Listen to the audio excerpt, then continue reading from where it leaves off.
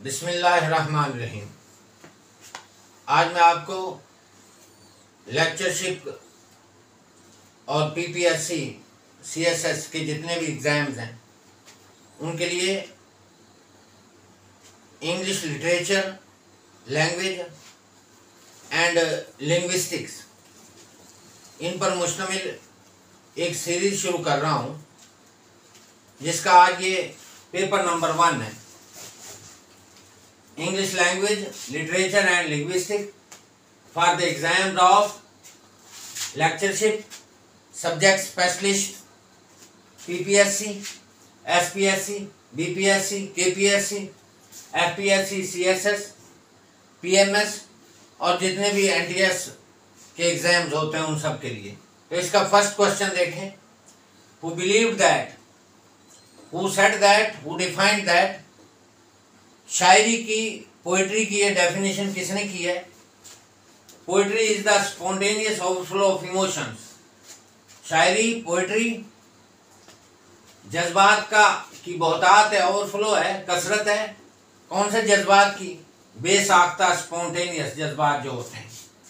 Poetry is the spontaneous overflow of emotions number one A पे William Blake number two Lord Byron number three William Wordsworth number four John Keats तो इसको William Wordsworth ने इसकी तारीफ़ की है।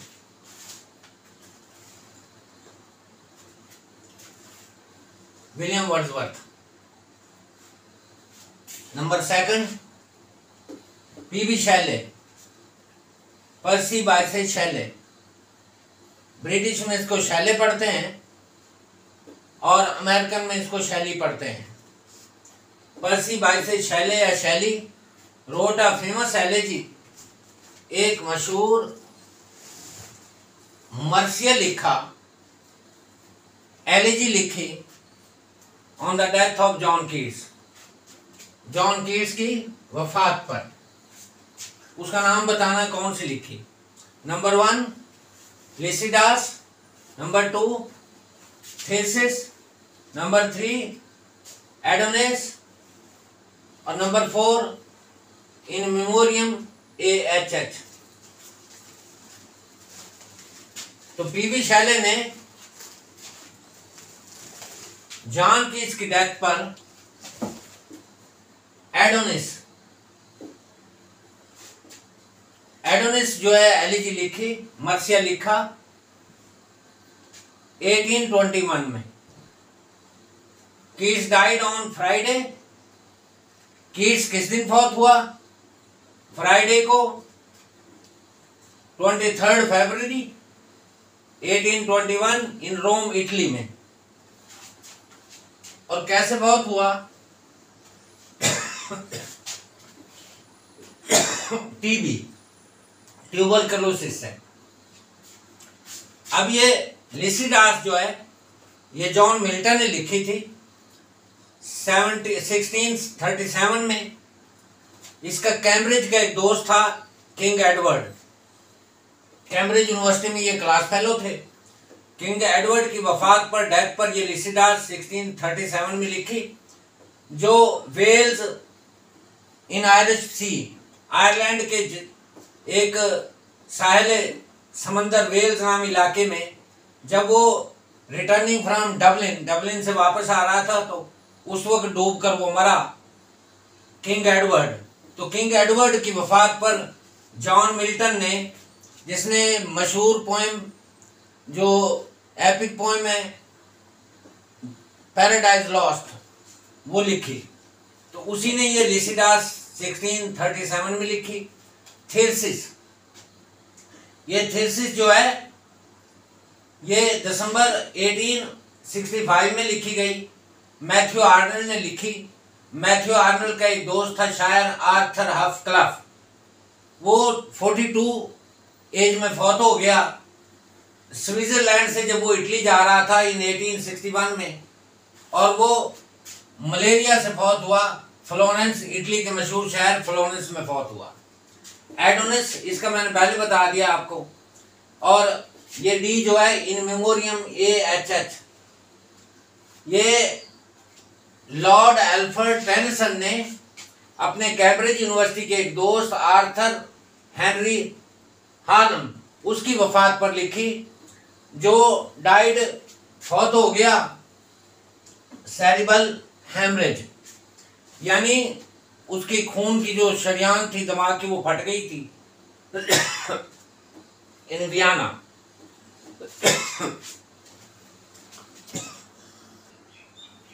Brain haemorrhage जिसको बोलते हैं, वियाना में फौत हुआ Arthur Henry Hallam. Lord Tennyson का ये फ्रेंड था 1833 में। और वियाना क्या है? जनरल नॉलेज का क्वेश्चन आता है। ये कैपिटल ऑफ़ ऑस्ट्रिया। ऑस्ट्रिया एक यूरोपियन कंट्री है। वहाँ पे ये फौत हुआ, और जब ये फौत हुआ तो इसकी एज थी ट्वेंटी टू। और आपको ये भी पता होना चाहिए कि वियाना कन्वेंशन एक ट्रीटी इंटरनेशनल मुआदा है वियाना कन्वेंशन जो इंटरनेशनल ट्रीटी है मुआदा है। उसके लिए भी वियाना ऑस्ट्रेलिया का दारकूमत कैपिटल वो मशहूर है। 1979 में ये मुआदा हुआ था। 1969 में और प्रोमलगेशन जो है 1980 में हुई। क्वेश्चन नंबर थर्ड देखें। पोएम मॉर्निंग समवंस डेथ ऐसी नज़म जो किसी की वफात पर लिखी जाए कॉल्ड बैलेड कहलाती है एलिजी कहलाती है सोनेट कहलाती है और कहलाती है। तो ये एलिजी कहलाती है। अब इसकी जो मिसालें एग्जाम्पल्स हैं लिसिडास दे सकते हैं आप एग्ज़ाम्पल इसकी। थीसिस दे सकते हैं मैथ्यू आर्नल्ड की। एडोनस पी बी शैले की है, और In Memoriam A H H A H H short word लिया गया आर्थर हेनरी हालम का तो ये आप एग्ज़ाम्पल इसकी दे सकते हैं। नंबर आगे फोर है। About whose Matthew Arnold said ये जो लाइन आगे लिखी हुई है मैथ्यू आर्नल्ड ने ये किसके बारे में लिखी? लाइन है एन इनफेक्चुअल एंजल एक गैर मुस्तर गैर मुस्तर फरिश्ता बीटिंग पीट रहा था इन द वर्ल्ड खला में इज़ लुमिनस विंग्स अपने दरक्षा रोशन परों को इन वेन फजूल. तो ये लाइन लिखी है, मैथ्यू आर्न ने किसके बारे में लिखी है?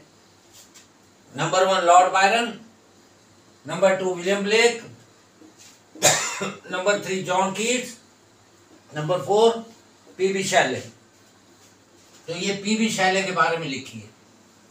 पी बी शैले इसका आंसर है P B Shelley an angel an ineffectual angel beating in the void his luminous wings is vain Matthew Arnold ने पी बी शैले के बारे में ये लाइन लिखी है। नंबर आगे फाइव है। The line she dwells with beauty beauty that must die ये जॉन कीट्स की पोइम की एक लाइन है। ये बताना है कि ये किस पोइम से ली गई है। ऑड ऑन मेलनकॉली ये फ़र्स्ट जुलाई 1820 को जो है वो लिखी गई। स्प्रिंग यानी मई 1800 यानी फ़र्स्ट जुलाई 1820 में पब्लिश हुई और स्प्रिंग यानी मई 1890 में ये लिखी गई। नंबर आगे टू है लेमिया ये भी जॉन कीट्स की पोएम है। फ़र्स्ट जुलाई 1820 को पब्लिश हुई। सितंबर 19 1890 को ये ये लिखी इसने। नंबर सी है on on a Grecian urn ये भी जॉन कीट्स की पोएम है। ये पब्लिश हुई 1820 में और लिखी गई है मई 1890 में। तो इसका आंसर जो है ऑन ऑन मेलनकॉली जो मई 1890 में लिखी और फ़र्स्ट जुलाई 1820 में ये पब्लिश हुई। इसमें से ये लाइन ली गई है she dwells with beauty beauty that must die number आगे सिक्स है। हु सेड दिस ये किसने कहा? यानी ये लाइन किसने बोली है? Poetry is the criticism of life जो शायरी है, वो ज़िंदगी की तनकीद है। नंबर ए, मैथ्यू आर्नल ने कहा है। विलियम वर्डवर्थ ने कहा है। टी एस इलियट ने कहा है। लॉर्ड बायरन ने कहा है। तो इसका करेक्ट जो आंसर है, मैथ्यू आर्नल है। मैथ्यू आर्नल ने ये लाइन बोली है poetry is the criticism of life number आगे सेवन है which period is in English literature is called the age of the Augustan age the Augustan age the age of Pope या the age of reason and good sense the age of Dryden and Pope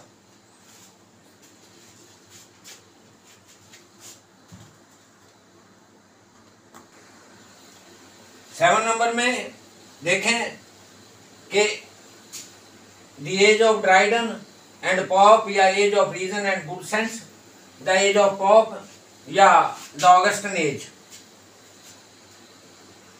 किसको कहा जाता है? तो इसका देखें number one पे early sixteen century B है seventeen century C early eighteen century तो इसका आंसर जो करेक्ट है वो अर्ली एटीन सेंचुरी है। ये करेक्ट आंसर है। आपको एक चीज़ बता दूँ मैं, इसको ऑगस्टन एज क्यों कहते हैं? इसलिए कहते हैं कि जो सीजर ऑगस्टन था, वो रोमन एम्पर था तो उसके दौर में लिटरेचर में बड़ी तरक्की हुई। तो उसी के अंदर अलेक्जेंडर पॉप मशहूर शायर जो है इंग्लिश का, जिसकी रेप ऑफ़ द लॉक है, और जिसके अंदर सबसे पहले हेरोइक कपलेट जो इस्तेमाल हुई। फिर जॉन ड्राइडन जो उसी के नाम से दिए जो ड्राइडन है। और इंग्लैंड का ये फ़र्स्ट पोइट लॉरिएट है, जो 1668 में बनाया गया। इंग्लिश लैंग्वेज का जो फ़र्स्ट पोइट लॉरिएट है, वो जॉन ड्राइडन है। इसी की वजह से इसको द एज ऑफ़ ड्राइडन भी कहते हैं और द एज ऑफ़ पोप भी कहते हैं। एज ऑफ़ पॉप इसलिए कहते हैं कि अलेक्जेंडर पॉप सबसे प्रोमिनेंट पोइट था उस दौर में। ऑगस्टन एज इसलिए कहते हैं कि ऑगस्टन जो है, वो सीजर ऑगस्टन यानी कैसर रोम जिसको बोलते हैं, उसके दौर में लिटरेचर में बड़ी तरक्की हुई और ऑगस्टन एज की जो टर्म है, मशहूर जो है फ़ेमस नावलिस्ट गोल्ड स्मिथ उसने ये कायम की थी। तो इसका करेक्ट आंसर है अर्ली एटीन सेंचुरी तो अर्ली एटीन सेंचुरी को age of reason and good sense भी कहा जाता है. एज ऑफ़ पॉप भी कहा जाता है. Age of Pope and Dryden भी कहा जाता है. ऑगस्ट ने एज भी कहा जाता है इसको. और इसको दूसरे लफ्ज़ों में नियो क्लासिकल एज भी कहा जाता है. क्यों? क्योंकि क्लासिकल जो राइटर थे रोमन राइटर जिनमें हॉरिस हो गया, और इस तरह के दूसरे पोइट उनकी, इन्होंने ये जो पॉप है ड्राइडन है इन्होंने काफ़ी करने की कोशिश की। इस वजह से। एट नंबर क्वेश्चन देखें। The literary figure question number eight है। The literary figure who had the most pronounced effect on John Keats यानी इसमें से कौन सी वो शख्सियत है पर्सनैलिटी है जिसका जॉन कीट्स की शायरी पर बहुत ज़्यादा असर हुआ। प्रोनाउंस इफ़ेक्ट हुआ, मुमताज़ नुमाया आउटस्टैंडिंग असर हुआ। Number one, William Shakespeare. Two, Wordsworth. Dante, P B Shelley. तो इसका आंसर है William Shakespeare. Question number nine देखें। It was the best of times it was the worst of times इस तरह की ये पाँच छह लाइनें हैं जो स्टार्टिंग पॉइंट में है। It was the best of times it was the worst of times is the opening line of Charles Dickens novel Charles Dickens के नावल की ओपनिंग इब्तदाई लाइन है जिससे वो नावल शुरू होता है, उस नावल का नाम बताना है। ए है हार्ड टाइम्स नावल है। ये पब्लिश हुआ अगस्त 12 1854 को डेविड कोपरफील्ड ये पब्लिश एज ए सीरियल हुआ 1849 टू 1850 तक और फ़र्स्ट नवंबर 1850 को ये लिखा गया, यानी पब्लिश हुआ। इस दौरान 1849 और 1850 के दौरान ये जो है ना सीरियल के तौर पर ये लिखा गया किश्तवार और फ़र्स्ट नवंबर 1850 को ये पब्लिश हुआ।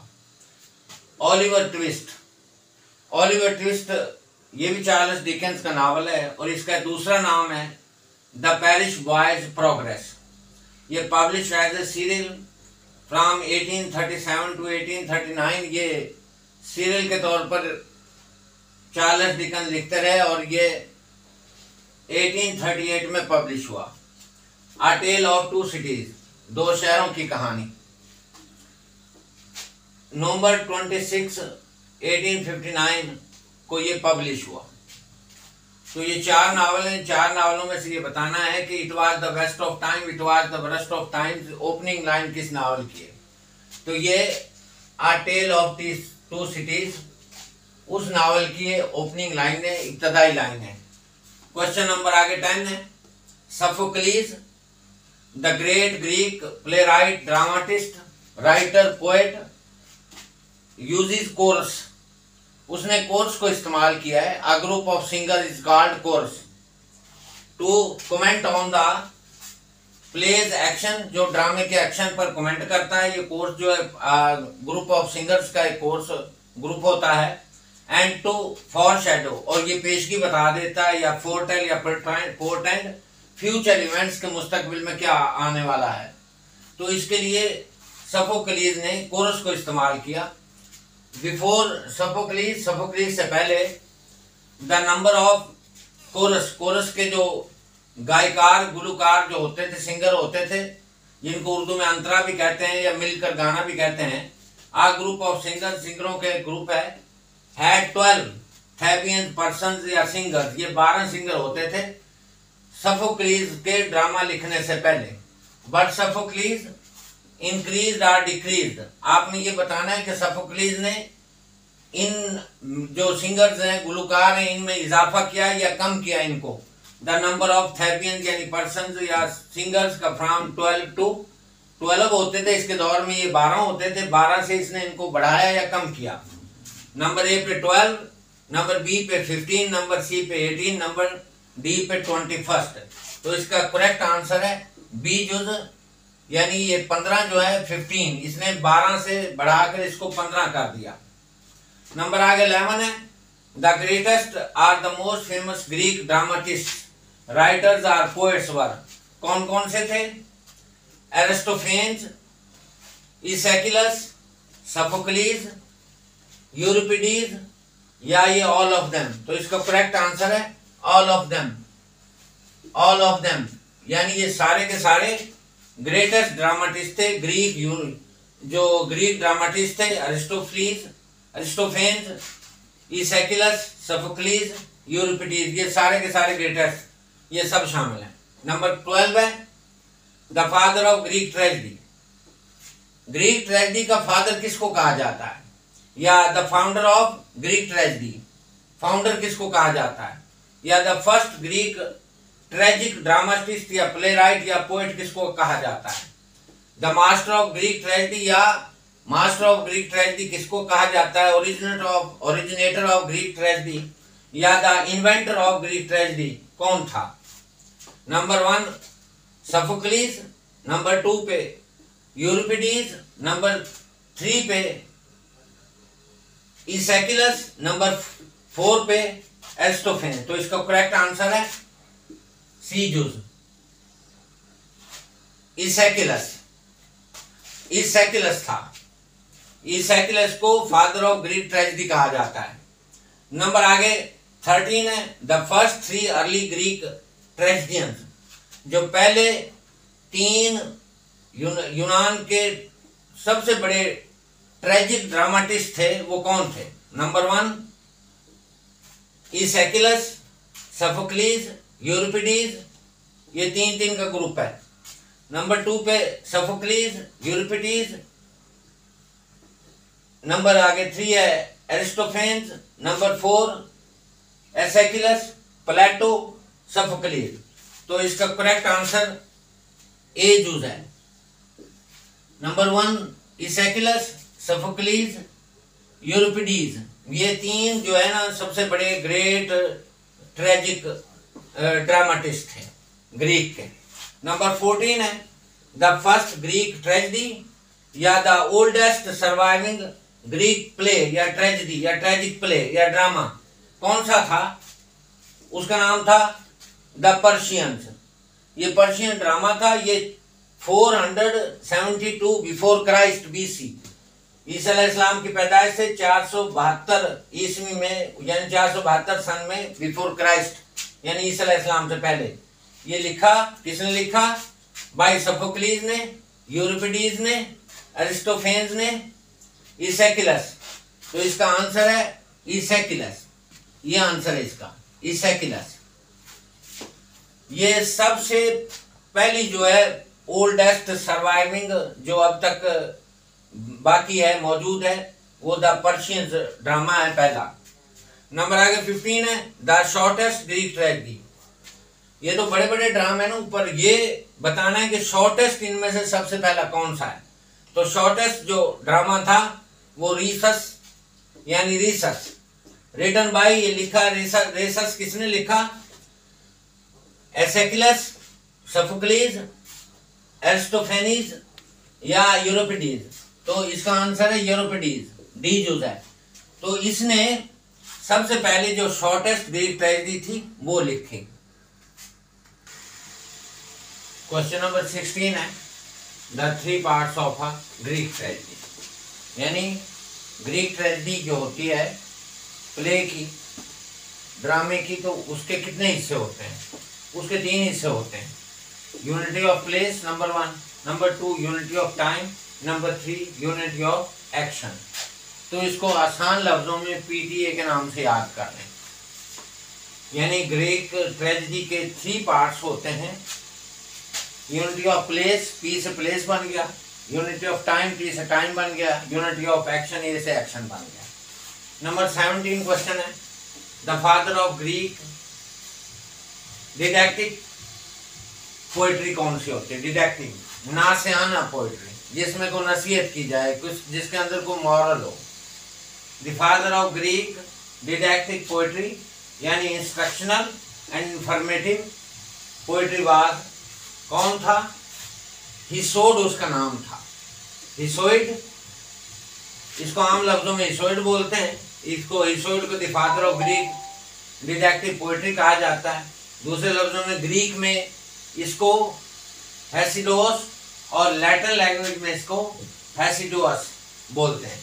आगे टोटल ग्रीक ट्रेजिडीज नंबर आगे 18 नंबर क्वेश्चन है। टोटल ग्रीक ट्रेजिडीज कितनी थी? तकरीबन थर्टी टोटल जो है ग्रीक ट्रेजिडीज थी। नंबर वन पे इनमें से सिक्स जो है एलिसक्टस ने लिखी। और नंबर टू जो है, ये इन्होंने सफोक्लिस ने लिखी।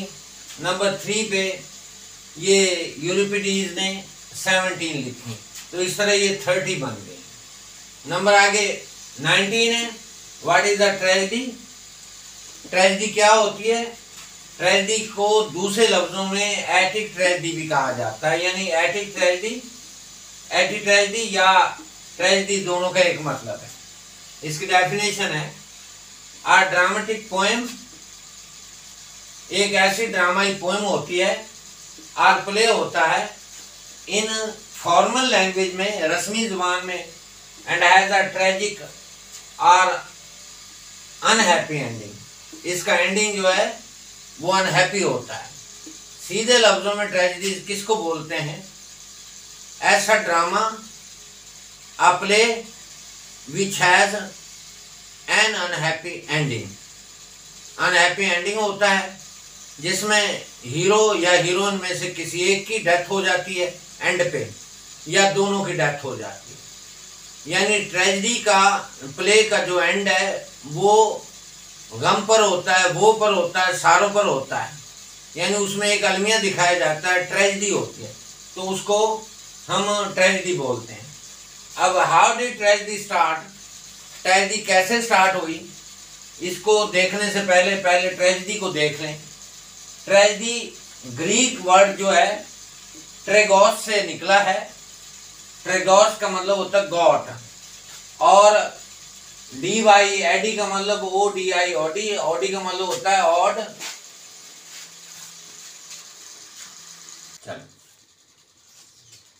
Twenty number question, how did tragedy start? इससे पहले के, इसके बारे में बताएँ। पहले ट्रेजिडी देख लेते हैं ट्रेजिडी क्या है? ट्रेजिडी दो लफ्जों से मिलकर बना है लफ्ज। ये ग्रीक वर्ड्स हैं ट्रेगोस प्लस ऑड ट्रेगोस जो ग्रीक वर्ड है, इसका मतलब गॉड और ऑड का मतलब सॉन्ग या गीत।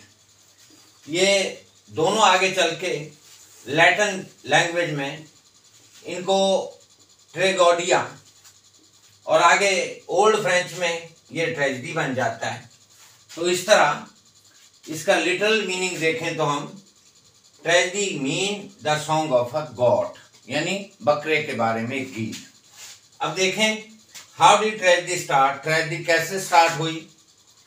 वैन इन एथन्स यूनान को बोलते हैं Greek when in Athens ancient hymns जो पुराने भजन होते थे, हमदिया गीत होते थे, जिनको हम डेट्रेमिन्स वर कहा जाता है, वर संग वो गाए जाते थे in honour of the god जो देवता डायनाइसस था, उसकी तारीफ़ में गाए जाते थे।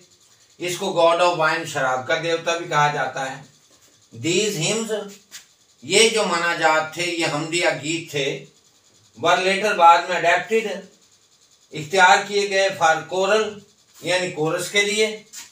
कोरस के जो प्रोसेशंस थे, जुलूस होत निकलते थे। इन विच पार्टिसिपेंट जिनमें शुरका वुड ड्रेस अप लिबास पहनते थे। इन कॉस्ट्यूम्स बलबुसात एंड मास्क और मास्क लगाते थे ऑफ़ गॉड स्किन बकरे की जो खाल के मास्क होते थे, मलबूसात कॉस्ट्यूम्स होते थे, वो लगाते थे। इस तरह in this way the song sung in god skin वो गीत जो बकरे की खाल को पहनकर गाया जाता था, उसको ट्रेजिडी कहा गया। यानी लिटरेरी ट्रेजिडी का मतलब है the song of a god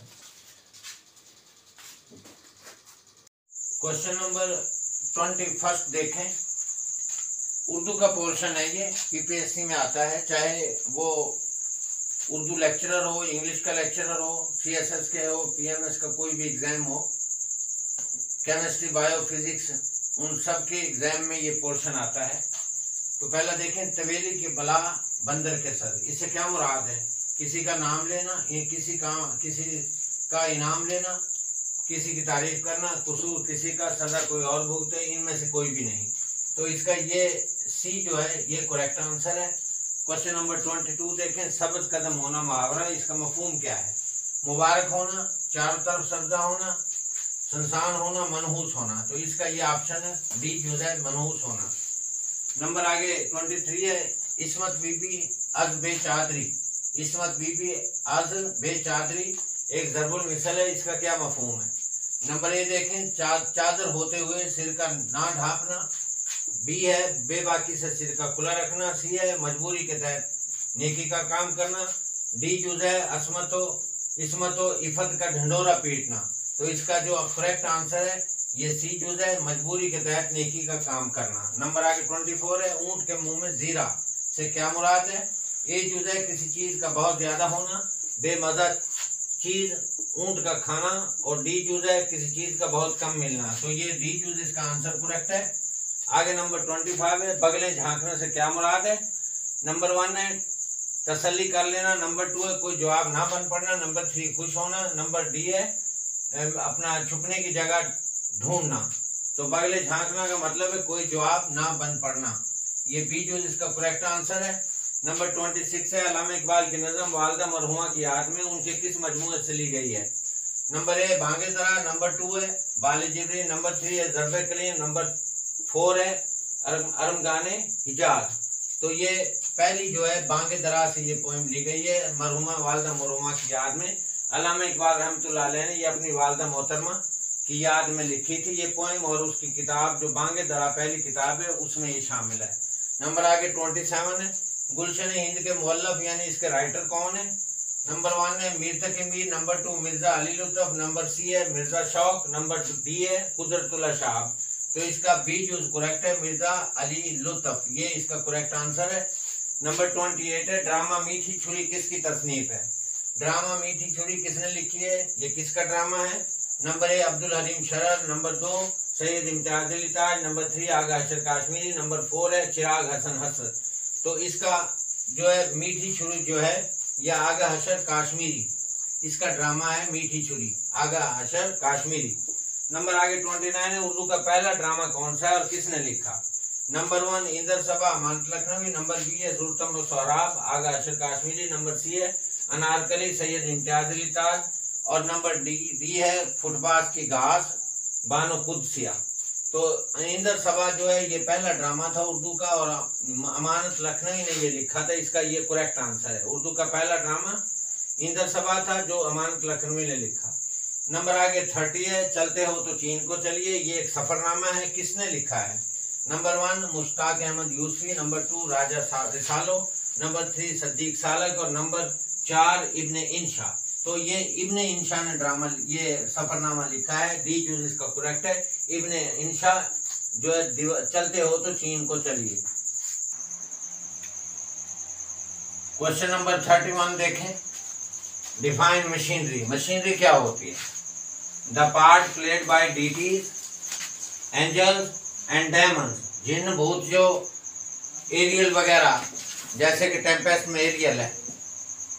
In a poem is called machinery for example Alexander Pope poem the rape of the lock rape of the lock में ये डीटीज एंजल्स और डायमंड्स ये मशीनरी के तौर पर इस्तेमाल किए गए हैं। Thirty second thirty two question number देखें। अकॉर्डिंग टू ब्लूम फ़ील्ड ये Bloomfield expert of linguistics है लिंग्विस्ट है। ये डेफिनेशन करता है किसकी? The organisation of sound into pattern is called क्या कहलाता है? फोनोलॉजी कहलाता है फोनेटिक्स एंथ्रोपोलॉजी या लेक्सिग्राफी तो इसका करेक्ट आंसर है A phonology thirty three question देखें. Phoneme phone and allophone are the concept of ये किसके कंसेप्ट हैं? फोनोलॉजी के एंथ्रोपोलॉजी के फोनेटिक्स के लिंग्विस्टिक्स के. तो इसका करेक्ट आंसर है फोनोलॉजी थर्टी फोर क्वेश्चन देखें। When a pidgin becomes a lingua franca it is called इसको क्या कहते हैं? डायलेक्ट कहते हैं? इडियोलेक्ट करियोल या डिग्लोसिया तो इसका करेक्ट आंसर है सी करियोल बोलते हैं इसको। नंबर आगे थर्टी फाइव क्वेश्चन देखें। Another name for grammar translation method G T M यानी ग्रामर ट्रांसलेशन मेथड को और इंग्लिश में क्या कहा जाता है? ऑरल मेथड कहा जाता है क्लासिकल मेथड कहा जाता है डायरेक्ट मेथड या कम्युनिकेटिव मेथड तो इसका करेक्ट आंसर है बी जो क्लासिकल मेथड इसको कहा जाता है, यानी पुराना ओल्ड मेथड जो ग्रामर ट्रांसलेशन का है। इसका उल्टा है डायरेक्ट मेथड नंबर आगे थर्टी सिक्स देखें। The set of all possible grammatical sentences in a language is called ये क्या कहलाता है? लैंग कहलाता है। ली language parole all of the तो इसका करेक्ट आंसर है सी पेरोल कहलाता है। नंबर आगे थर्टी सेवन है scientific study of production scientific study of production production P transmission T and reception R of speech sound is called क्या कहलाता है? एंथ्रोपोलॉजी लेक्सीग्राफी फोनोलॉजी फोनेटिक्स क्या कहलाता है? Scientific study of production transmission and reception of speech sounds तो ये phonetics कहलाता है। नंबर आगे थर्टी एट देखें। Thirty eight thirty eight the thirty eight question number the structure of phrases or sentences यानी सेंटेंसेस और जो जुजे जुमला फ्रेज होते हैं उनकी जो स्ट्रक्चर है, वो क्या कहलाती है? कॉल्ड सिमांटिक्स कहलाती है सिंटैक्स मॉर्फोलॉजी या फुनीम कहलाती है। तो इसका करेक्ट आंसर है बी जूस सिंटैक्स थर्टी नाइन क्वेश्चन देखें। The study of mankind and of culture is called यानी तहजीब या सकाफ्त और इंसानों का मुताल क्या कहलाता है? तो करेक्ट आंसर है इसका एजुज एंथ्रोपोलॉजी क्वेश्चन नंबर फोर्टी देखें। Sentence that con, contains two or more independent classes. ऐसा जुमला, जिसमें दो या दो से ज़्यादा खुद मुख्तियार आज़ाद क्लासेस हिस्से हो नो सबॉर्डिनेट क्लास और कोई मातहत क्लास ना हो इजा क्या होता है? सिंपल सेंटेंस होता है। कंपाउंड सेंटेंस होता है कम्प्लेक्स सेंटेंस होता है या नन इनमें से कोई भी नहीं। तो कंपाउंड होता है, इसका एक्यूरेट जवाब है बी जूस कंपाउंड सेंटेंस होता है। फोर्टी वन है, पुरोड the world famous novel, Sherlock Holmes, जो कि 1887 में पब्लिश हुआ। ये किसने लिखा? James Chase Conan Doyle Dylan Thomas या एच जी वेल्स ने। तो इसका बी जो करेक्ट है। कैनन डॉयल इसका है ये Sherlock Holmes T.S. Eliot dedicated his famous poem. 42 question है. द वेस्टलैंड ये टू किसको डेडिकेट की डब्ल्यू एच ऑर्डन को की? जैसी वास्टन को की? वेस्टर्न को? इजरा पाउंड को की? या जे ई सपिंग ग्राम तो इसका करेक्ट आंसर है C choice Ezra Pound 43 question है. Quaid-e Azam resign from the membership of Congress in Quaid Azam ने कांग्रेस से अपनी अलहदगी कब की उसके मेंबरशिप से? तो इसका आंसर है 1933, 1916, 1920, 1922 सी जो एक्यूरेट है 1920 यानी 1920 में कायद आज़म कांग्रेस को मुकम्मल तौर पर छोड़ गया और 1913 में कायद आज़म ने शमूलियत इख्तियार की थी मुस्लिम लीग में। 1913 में उसको छोड़ दिया फिर मुस्लिम लीग के हो। रहे 44 है, double four which country is the largest producer of shale gas shale gas कौन सा मुल्क है जो सबसे ज़्यादा शेल गैस पैदा करता है? कतर है, रशिया है, ईरान है यूएस है अमेरिका है, ये डी जूस दुरुस्त है। अमेरिका। अमेरिका सबसे ज़्यादा शेल गैस पैदा करने वाला मुल्क है। 45 है plants primarily get their nitrogen from पौधे अपने नाइट्रोजन कहाँ से हासिल करते हैं? सोयल मिट्टी से एटमॉस्फेयर से रेन से नन ऑफ़ दीज तो सोल मिट्टी से वो अपनी जो नाइट्रोजन है वो हासिल करते हैं. ए जो इसका एक्यूरेट है. नंबर फोर्टी सिक्स है. आगे ये फोर्टी सिक्स है. Write the synonym of the following यानी पहला वर्ड है पिक या पीके. ब्रिटिश अमेरिकन में पढ़ेंगे तो इसको पढ़ेंगे पीक.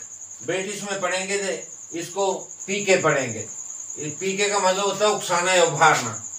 इसका ए जो है क्वेश्चन सवाल करना डिले ताखिर करना करो उगाना अराउज उभारना। तो ये डी जूज इसका एक्यूरेट है।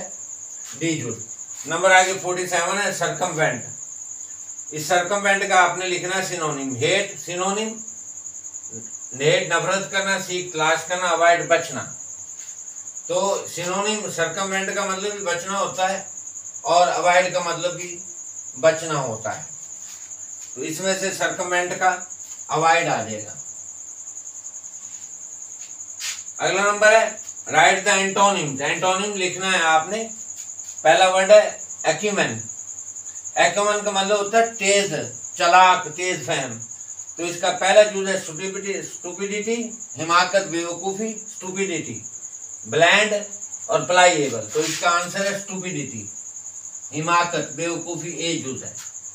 और लास्ट क्वेश्चन है पेपर नंबर वन, जो English language literature linguistic for all the exams जितने भी एग्ज़ाम्स हैं, उनमें लेक्चरशिप है सब्जेक्ट स्पेशलिस्ट है, उसके अलावा एच एम हेड मास्टर के जो इम्तहानात हैं, उनके लिए डबल एस यानी सब्जेक्ट स्पेशलिस्ट और triple S senior subject specialist इनके एग्ज़ाम्स का मैंने ये सीरियल नंबर वन बनाया पेपर नंबर वन इसके अंदर फिफ्टी क्वेश्चन है। तो इसका ये लास्ट क्वेश्चन है। जनरल नॉलेज का है। The world the oldest airline of the world दुनिया की सबसे, जो कदीम तरीन, पुरानी तरीन, सबसे पुरानी जो एयरलाइन है, उसका नाम क्या है? के एल एम नीदरलैंड की है। लुफ्थानसा ये जर्मनी की है और डेल्टा ये अमेरिका की एयरलाइन है। तो इसका राइट आंसर है oldest airline of the world जो है, वो नीदरलैंड की एजूज है, और इसका, ये नीदरलैंड की है, इसका नाम है के एल एम उम्मीद है कि आपको ये आज की जो सीरीज़ मैंने शुरू की है paper number one fifty question पर कंसिस्ट है, ये आपको पसंद आएगी। Thank you